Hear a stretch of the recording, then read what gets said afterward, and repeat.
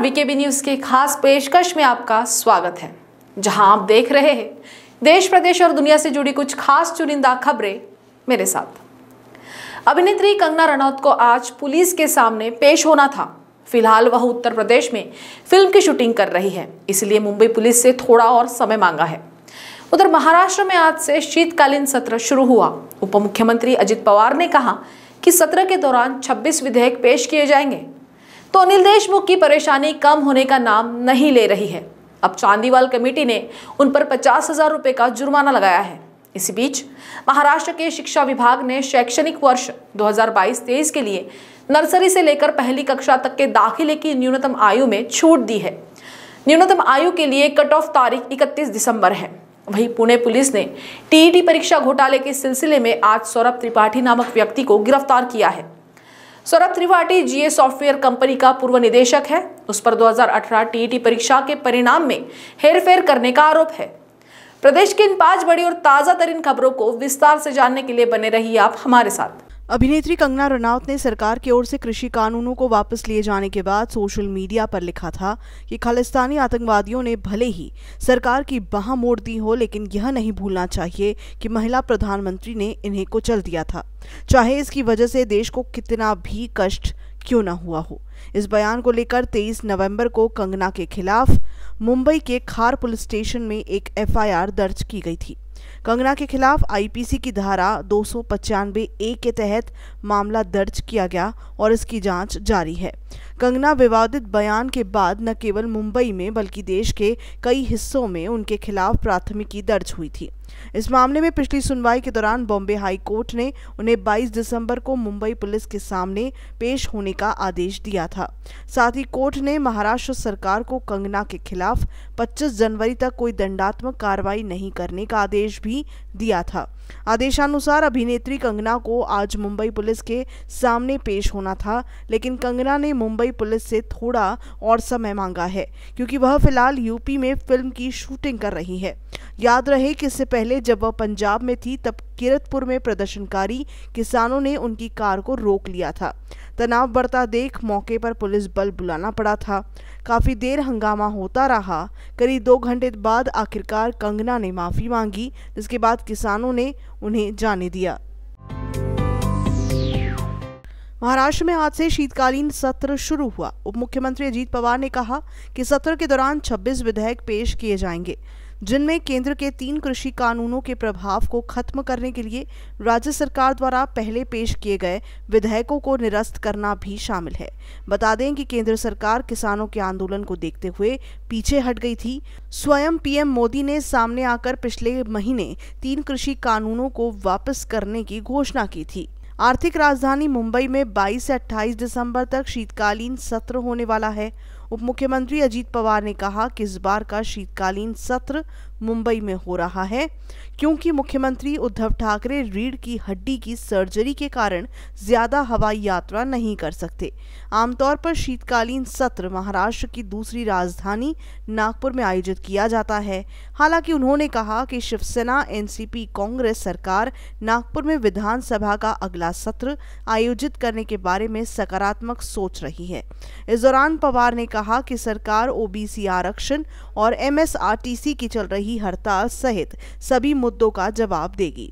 उधर विधानसभा में विपक्ष के नेता देवेंद्र फडणवीस ने कहा कि भाजपा ओबीसी के लिए राजनीतिक आरक्षण और विभिन्न विभागों के लिए भर्ती प्रक्रिया में गड़बड़ी के मुद्दे को सत्र में उठाएगी। साथ ही आपदा प्रभावितों के लिए फ़सल बीमा में वितरण में गड़बड़ का मुद्दा भी उठाएगी। भाजपा ने विधानसभा अध्यक्ष पद के चुनाव में उम्मीदवार उतारने का फैसला किया है।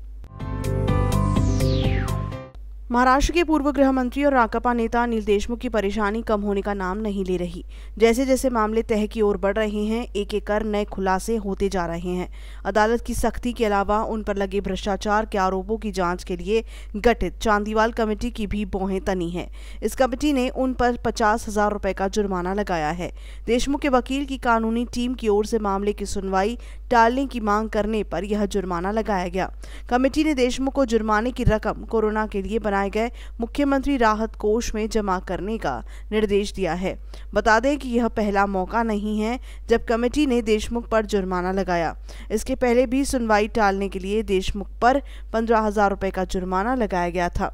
देशमुख फ़िलहाल मनी लॉन्ड्रिंग से जुड़े मामलों में आर्थर रोड जेल में न्यायिक हिरासत में हैं।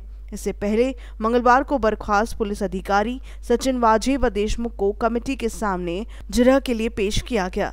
इस दौरान देशमुख की कानूनी टीम से जुड़े वकील की ओर से सुनवाई टालने का आग्रह किया गया, क्योंकि वजह से जिरह करने वाले वरिष्ठ वकील उपलब्ध नहीं थे।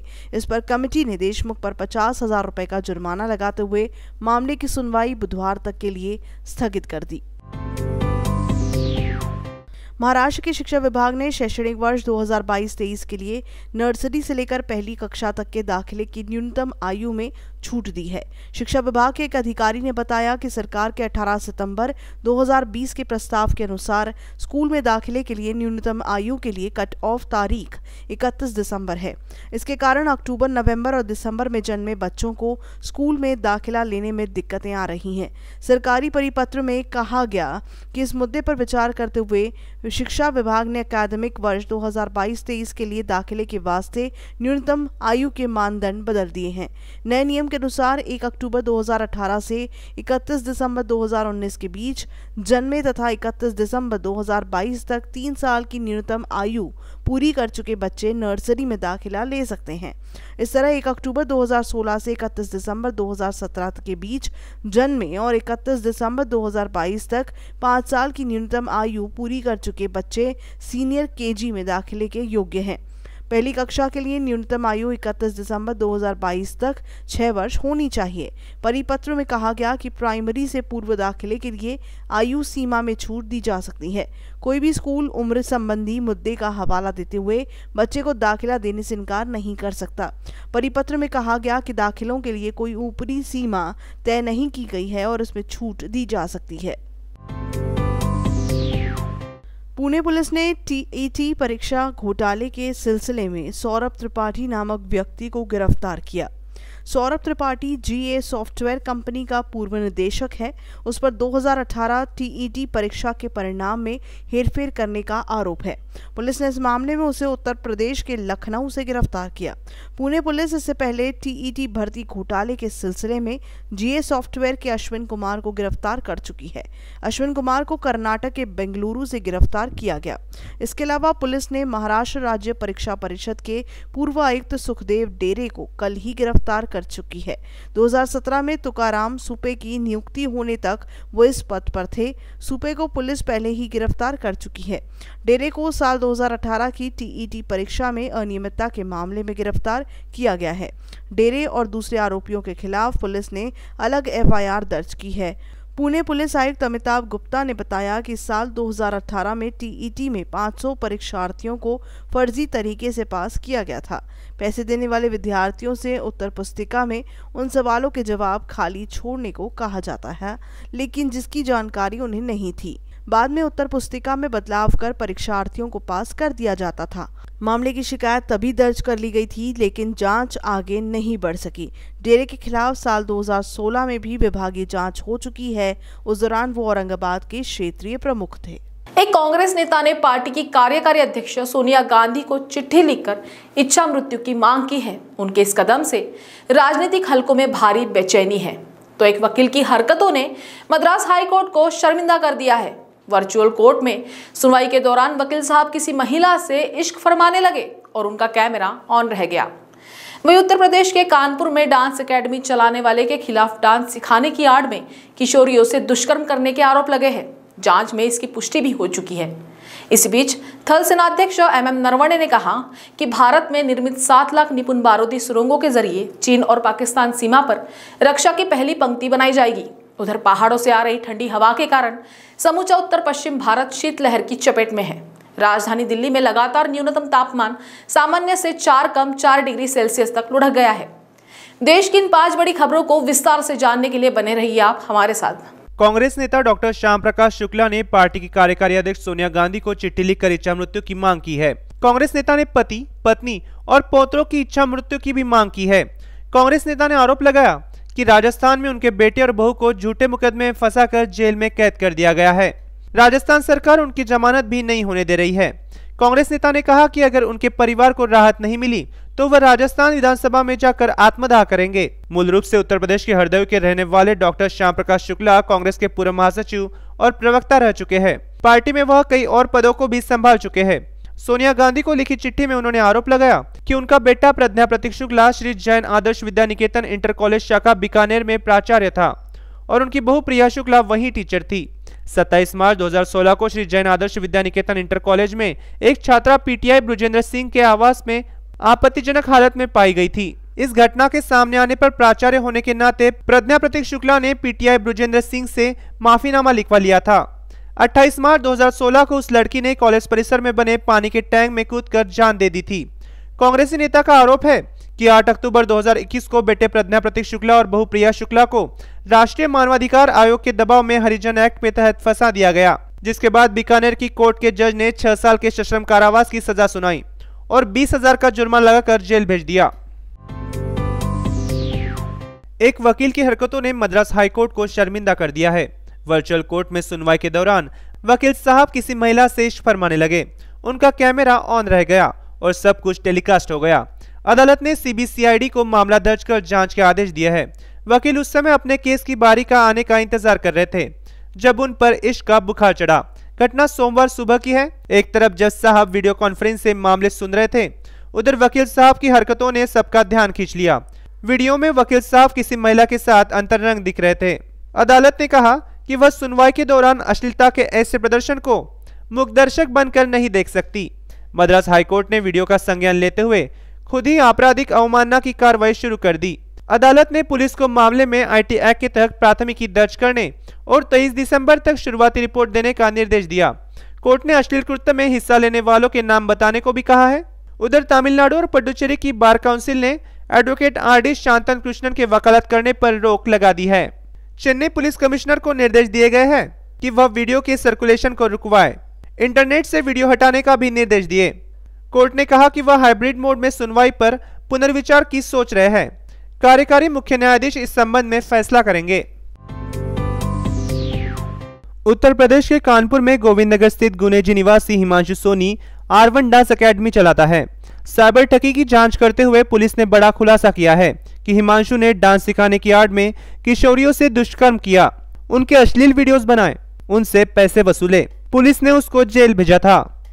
अब तक चार पीड़िताएँ सामने आ चुकी है। एक पीड़िता बालिग है, जबकि अन्य तीन किशोरियाँ हैं। उनकी उम्र महज तेरह चौदह साल है। पुलिस ने मंगलवार को तीनों पीड़ित किशोरियों के बयान दर्ज किए। किशोरियों ने बताया कि डांस टीचर जब डांस सिखाता था, तब वह बैड टच करता था। बाद में उसने बहकाकर, डरा धमकाकर उनके साथ दुष्कर्म किया। अश्लील वीडियोस भी बनाए। वीडियो वायरल करने की धमकी देकर वह इनके साथ गलत काम करता था। हिमांशु ने कई बार किशोरियों को अपना शिकार बनाया। डराकर रकम भी वसूली। जाँच में भी सामने आया है कि हिमांशु किशोरियों को डराता था। कहता था कि वह उनके परिवार वालों को मार देगा। इसलिए वो खामोश रहे। अगर किसी को कुछ बताया तो उसका खामियाजा परिवार वाले भुगतेंगे। हिमांशु की करतूत के बारे में पीड़ित परिवारों से संपर्क किया गया। लेकिन बदनामी के डर से वह लोग कुछ भी कार्रवाई करने से इनकार करते रहे। अभी तक पीड़ित तीन किशोरियों ने डांस टीचर हिमांशु सोनी की करतूतों की दास्ता बया की है। पुलिस ने तीनों के बयान दर्ज किए हैं। एक दो दिन में पीड़िताओं के कोर्ट में बयान दर्ज कराए जाएँगे। भारत ने निर्मित सात लाख निपुण बारूदी सुरंगों के ज़रिए चीन और पाकिस्तान सीमा पर रक्षा की पहली पंक्ति बनाई जाएगी। यह मानवरोधी सुरंगें आरडीएस के मिश्रण से तैयार की जा रही है। थल सेनाध्यक्ष एम एम नरवने ने बताया कि इनकी तरह की भारत में बनी विभव और विशाल एंटी टैंक बारूदी सुरंगों का परीक्षण भी एडवांस स्टेज पर किया जा रहा है, जो सीमा पर लगाई जा सकती है। भारत द्वारा बनाए कवच युक्त इंजीनियर निगरानी वाहन के तिरपन में से पहले बैच के चौदह वाहनों को सेना में शामिल करने के मौके पर सेनाध्यक्ष ने बताया कि सेना में नई शामिल होने जा रही बारूदी सुरंगे डीआरडीओ द्वारा प्राइवेट सेक्टर की कंपनियों के साथ विकसित की गई है। इन्हें सेना की जरूरतें पूरी करने के योग्य पाया गया तो आने वाले समय में शामिल कर लिया जाएगा। सूत्रों ने बताया कि निपुण, विभव और विशाल के अलावा तीन से अधिक नई बारूदी सुरंगे सेना में निकट भविष्य में शामिल की जा सकती है। इनमें प्रचंड, उल्का और पार्थ प्रमुख है। जानकारों के मुताबिक बारूदी सुरंगें सेना के लिए अमोघ अस्त्र तो है, लेकिन आंधी, तूफ़ान, बारिश जैसे कारणों से सालों से दबी बारूदी सुरंगें एक जगह से खिसक कर जब दूसरी जगह चली जाती है तो सैनिकों के लिए ही खतरनाक हो जाती है। भूस्खलन के कारण भी कई बार ये बारूदी सुरंगें ज़मीन के ऊपर आ जाती है, जिनके कारण आम लोग या सैनिक मारे जाते हैं। पहाड़ों से आ रही ठंडी हवा के कारण समूचा उत्तर पश्चिम भारत शीतलहर की चपेट में है। राजधानी दिल्ली में लगातार न्यूनतम तापमान सामान्य से चार डिग्री कम सेल्सियस दर्ज किया गया है। जम्मू कश्मीर, पंजाब, हरियाणा, उत्तर प्रदेश, राजस्थान, मध्य प्रदेश, छत्तीसगढ़ बिहार, पश्चिम बंगाल, कच्छ से लेकर तेलंगाना में शीतलहर जारी है। मौसम विशेषज्ञों का कहना है कि हवा की गति में कमी आने के कारण ठंड से हल्की राहत मिलेगी। बुधवार यानी आज से न्यूनतम तापमान में वृद्धि होगी। इससे शीतलहर से राहत मिलने की उम्मीद है। इससे पहले सोमवार को न्यूनतम तापमान सामान्य से पाँच डिग्री कम यानी तीन दशमलव दो डिग्री तक चला गया था, जो इस सीज़न का सबसे सर्द दिन रहा। कश्मीर में मंगलवार को भीषण सर्दी के 40 दिन वाले चिले कला की शुरुआत हो चुकी है, लेकिन पहले ही दिन मौसम मेहरबान रहा। श्रीनगर का न्यूनतम तापमान माइनस दो दशमलव आठ डिग्री रहा, जो कि पिछली रात माइनस पाँच दशमलव आठ डिग्री था। घाटी के ऊपरी इलाकों में 23 दिसंबर को हल्की बर्फबारी की संभावना है। 26 दिसंबर से मैदानी सहित पहाड़ी इलाकों में भीषण बर्फबारी की संभावना है। दिल्ली में मंगलवार को अधिकतम तापमान सामान्य से एक अधिक, यानी 22.4 डिग्री सेल्सियस रहा और दिन भर धूप निकलने के कारण लोगों को ठंड से थोड़ी राहत मिली। सूरज ढलते ही फिर से लोगों की कपकपी छूट गई। बीते 24 घंटों में हवा में नमी का स्तर 30 से चौरानवे फ़ीसदी रिकॉर्ड हुआ। दुनिया भर में आज एक तलाक चर्चा में है, क्योंकि अभी तक इतना महँगा तलाक सामने नहीं आया है। मामला दुबई के king Sheikh Mohammed bin Rashid Al Maktoum से जुड़ा है। उन्होंने अपनी पत्नी राजकुमारी हया से तलाक ले लिया है। जिसके बदले में उन्हें लगभग 5,500 करोड़ रुपए राजकुमारी हया को देने होंगे। वहीं चीनी समाज के उलट चीन में जल्द ही गर्भवती महिलाएँ पति की आपत्ति के बावजूद सिजेरियन प्रसव चुन सकेगी। सरकार उन्हें ये हक देने जा रही है। तो कोरोना के मामले बढ़ने के बावजूद ब्रिटेन के प्रधानमंत्री बोरिस जॉनसन ने इंग्लैंड में क्रिसमस से पहले सख्त लॉकडाउन लागू करने से साफ़ इनकार कर दिया है। इसी बीच पाकिस्तान के प्रधानमंत्री इमरान खान ने कबूल कर लिया है कि अफ़गानिस्तान में 20 साल लंबे चले आतंक के खिलाफ युद्ध में पाकिस्तान के शामिल होने का फैसला जनहित में नहीं, बल्कि धन पाने के लिए किया गया था। उधर एक बेजुबान प्राणी भी आज खास चर्चा में है। जी हाँ हम बात कर रहे हैं लुप्त हो रहे सफ़ेद गैंडे के बारे में। अफ्रीका के एक चिड़ियाघर में सफ़ेद गैंडे ने जन्म लिया है। कौतूहलवश इसे लिटिल मिरेकल, यानी छोटा सा चमत्कार कहा जा रहा है। दुनिया भर की इन पाँच बड़ी खबरों को विस्तार से जानने के लिए बने रहिए आप हमारे साथ। दुबई के king Sheikh Mohammed bin Rashid Al Maktoum ने अपनी पत्नी राजकुमारी हया से तलाक ले लिया है। इसके बदले में उन्हें लगभग 5,500 करोड़ रुपए राजकुमारी हया को देने होंगे। ब्रिटेन हाईकोर्ट ने कहा कि किंग को यह रकम डिवोर्स सेटलमेंट और बच्चों के सुरक्षित भविष्य के लिए देनी होंगी। यह सेटलमेंट ब्रिटिश कानून इतिहास के सबसे बड़े सेटलमेंट में से एक है। राजकुमारी हया, जॉर्डन के पूर्व राजा हुसैन की बेटी है। हाईकोर्ट के जज फिलिप मूर ने अपने फैसले में कहा कि राजकुमारी हया और उनके बच्चों को आतंकवाद या फिर अपहरण जैसे खतरे से बचना व सुरक्षा देने के लिए खास इंतज़ाम होने चाहिए। ब्रिटेन में उन्हें खास सुरक्षा की ज़रूरत होगी। वकीलों के मुताबिक शेख की ओर से दी जाने वाली रकम में से 2,500 करोड़ रुपए राजकुमारी हया को एक मुश्त दिए जाएँगे। उनके दोनों बच्चों के सुरक्षित भविष्य के लिए 2,900 करोड़ रुपए सिक्योरिटी के तौर पर बैंक में रखे जाएँगे। इसके अलावा बच्चों के बड़े होने पर हर साल 112 करोड़ रुपए देने होंगे। राजकुमारी हया ने इस सेटलमेंट के लिए लगभग चौदह हज़ार रुपए, करोड़ रुपए मांगे थे। कानूनी जानकारों के मुताबिक शासक द्वारा शायद ही इसके खिलाफ अपील की जाएगी। राजकुमारी हया शेख मोहम्मद की छठवीं पत्नी है। उन्होंने ऑक्सफोर्ड से राजनीति, दर्शन शास्त्र और अर्थशास्त्र की पढ़ाई की है। 2004 में दुबई के king Sheikh Mohammed bin Rashid Al Maktoum से निकाह किया था। वह 2019 में अचानक दुबई छोड़कर इंग्लैंड चली गई। इसके बाद अपने पति पर कई आरोप लगाए। राजकुमारी ने खुद को जान का खतरा भी बताया था। चीन में जल्द ही गर्भवती महिलाएँ पति की आपत्ति के बावजूद सीजेरियन प्रसव चुन सकेंगी। सरकार उन्हें यह हक देने जा रही है। शक्तिशाली परंपरा वाली चीनी समाज के उलट इस कदम को महिला अधिकारों की रक्षा की दिशा में ताज़ा कदम माना जा रहा है। चीन की संसदीय स्थायी समिति इस हफ़्ते महिला अधिकार व हित संरक्षण कानून संशोधन समेत कई विधेयकों पर चर्चा के लिए बैठक करेगी। यह कानून सबसे पहले उन्नीस में पारित हुआ था। फ़िलहाल वहाँ पति की मंजूरी के बाद ही कोई अस्पताल गर्भवती को सिरेजियन प्रसव की अनुमति देता है।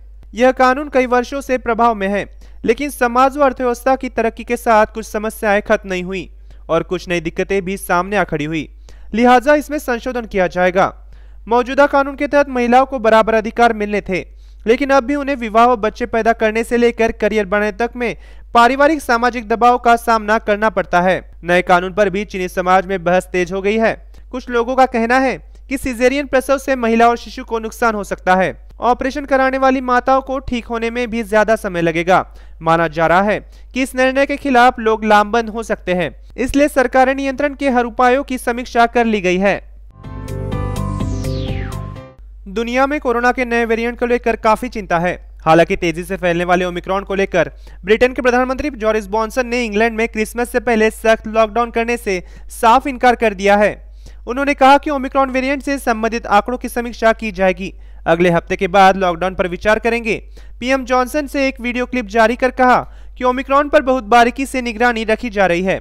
अगर स्थिति बिगड़ती है तो हम ज़रूरत पड़ने पर कार्रवाई करेंगे। सरकार आंकड़ों की बारीकी से निगरानी कर रही है और यदि आवश्यक होगी तो क्रिसमस के बाद कार्रवाई करने में संकोच नहीं करेगी। हालाँकि छूट देते हुए उन्होंने कहा कि लोग अपनी क्रिसमस योजनाओं के साथ आगे बढ़ सकते हैं, लेकिन उनको सावधानी बरतनी चाहिए। एहतियातन, सभी नागरिक बूस्टर डोज ले। इस बीच महारानी एलिजाबेथ ने पूर्व इंग्लैंड के नॉरफॉक में अपने सेंट्रिगम स्टेट पर पारंपरिक क्रिसमस योजना छोड़ने की घोषणा की है। इस फैसले को बकिंगम पैलेस ने व्यक्तिगत निर्णय करार दिया है। बता दें कि क्रिसमस की सुबह को राज परिवार के सदस्य सेंट्रिगम स्टेट पर एकत्रित होते हैं। यह दूसरा साल है, जब महारानी की वजह से महारानी की पारंपरिक क्रिसमस यात्रा योजना रद्द की गई है। पाकिस्तान के प्रधानमंत्री इमरान खान ने उस सच को कबूल कर लिया है। जिसे पाकिस्तानी सैन्य तानाशाह जनरल परवेज मुशर्रफ लंबे समय से छिपाए हुए थे। प्रधानमंत्री इमरान खान ने अमेरिका के अफ़गानिस्तान में 20 साल लंबे चले आतंक के खिलाफ युद्ध में पाकिस्तान के शामिल होने के फैसले पर अफसोस जताया और कहा कि यह फैसला जनहित में नहीं, बल्कि धन पाने के लिए किया गया था। साथ ही इमरान ने इसे खुद ही अपने आप को दिया गया जख्म करार दिया। अफ़गानिस्तान में दो दशक चले युद्ध में पाकिस्तान की भागीदारी के आलोचक रहे खान ने दावा किया कि वह वर्ष 2001 में निर्णय लेने वालों के करीबी थे। जब तत्कालीन सैन्य शासक जनरल परवेज मुशर्रफ ने आतंक के खिलाफ युद्ध का हिस्सा बनने का निर्णय लिया था, इस्लामाबाद में विदेश मंत्रालय के अधिकारियों को संबोधित करते हुए इमरान खान ने यह बयान दिया। इमरान खान ने कहा कि मैं इस फैसले के पीछे के विचार से अच्छी तरह से वाकिफ था। दुर्भाग्यवश, पाकिस्तान के लोगों का हित ध्यान में नहीं रखा गया। हम खुद ही इसके लिए जिम्मेदार है। जिस तरह हमने अन्य लोगों को अपना इस्तेमाल करने दिया और पैसे के लिए अपने देश के सम्मान का सौदा किया हमने ऐसी विदेश नीति बनाई, जो कि जनहित के खिलाफ रही। मुशर्रफ की पोल एक एक करके खुलती जा रही है, जिसका दावा पिछले दिनों पत्रकार अहमद नूरानी ने भी किया था। ब्रिटेन के एक चिड़ियाघर में एक सफ़ेद गेंडे ने जन्म लिया, जिसे लिटिल मिराकल यानी छोटा सा चमत्कार कहा जा रहा है। उसका जन्म लोएस्टॉफ्ट के पास अमेरिका अलाइव चिड़ियाघर में हुआ है। उसकी माँ नजीरी का उम्र नौ साल और पिता जिम्बा की उम्र तेरह साल है। इस चिड़ियाघर में पहली बार किसी पशु का जन्म हुआ है। इस चिड़ियाघर में पहले से चार दक्षिणी सफ़ेद गेंडे मौजूद है। इस गेंडे को चमत्कार इसलिए कहा जा रहा है क्योंकि एक समय पर यह प्रजाति विलुप्ति की कगार पर पहुँच गई थी। 1990 के दशक में इस प्रजाति की दुनिया में सिर्फ़ 50 से 100 सफ़ेद गेंडे ही बचे थे। संरक्षण के सफल प्रयासों के चलते इसकी आबादी में बढ़ोतरी हुई और आज इनकी संख्या अठारह हज़ार तक पहुँच गई है। हालाँकि अवैध शिकार के चलते इन्हें जंगल में खतरे के करीब श्रेणी के जानवरों में गिना जाता है। अफ्रीका अलाइव के एक अधिकारी ने कहा कि इस गेंडे का जन्म वाकई एक चमत्कार है। नजीरी और उसका बच्चा पूरी तरह से स्वस्थ है, लेकिन चूँकि नजरी पहली बार माँ बनी है, इसलिए हम लगातार उस पर करीब से नज़र बनाए हुए हैं। फ़िलहाल सफ़ेद गेंडे का कोई नाम नहीं रखा गया है। अभी तक यह भी नहीं पता है कि यह नर है या मादा। इस प्रजाति के नवजात गेंडों का वज़न जन्म के समय आमतौर पर 40 से 60 किलोग्राम के बीच होता है। यह जन्म के सिर्फ़ एक घंटे बाद ही खड़े होने में सक्षम होते हैं। और तुरंत बाद दूध पीने का प्रयास करने लगते हैं। तो आज की इस खास पेशकश में बस इतना ही। आपसे कल फिर मुलाकात होगी। तब तक देखते रहिए वीकेबी न्यूज़ नमस्कार।